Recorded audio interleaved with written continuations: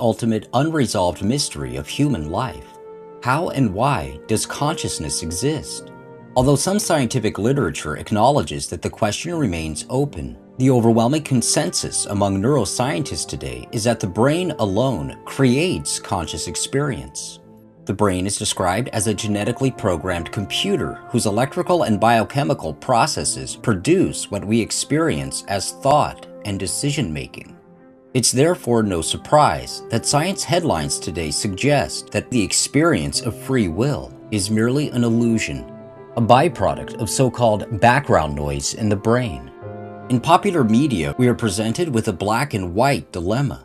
We must choose between reason and rationality, or superstition and blind faith.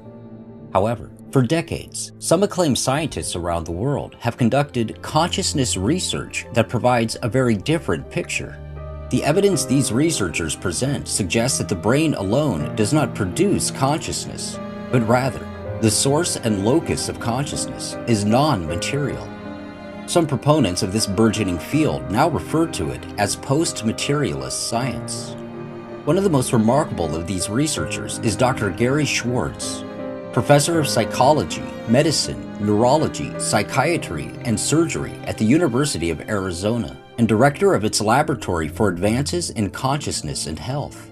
We asked Dr. Schwartz for his thoughts on the mystery of consciousness, beginning with the question How did institutional science arrive at its current position that the brain alone produces conscious experience?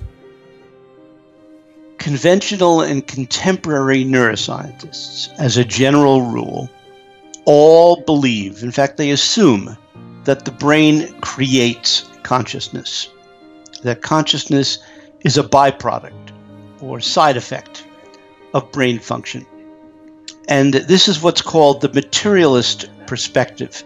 It's the idea that reality is defined first and foremost in terms of matter, that it's only material things that exist.